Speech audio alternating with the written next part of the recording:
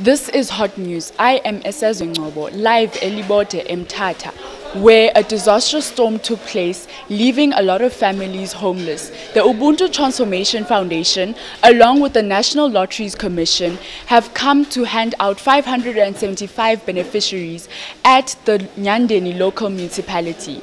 In total, there will be 3,500 beneficiaries that will be handed out over a course of three days. What you see behind me today is the volunteers from Ubuntu Transformation Foundation, along with some community members, are helping out to sort out the food parcels that will be handed out today at Nyandeni local municipality.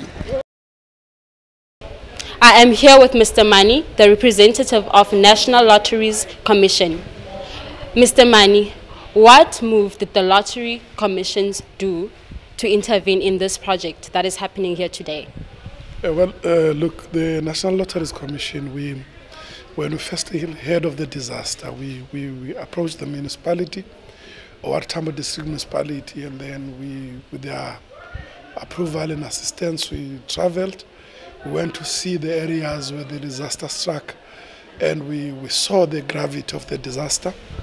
And then, you know, through our um, proactive funding model, we then uh, uh, took a decision that this was a worthy cause that actually needed our urgent intervention.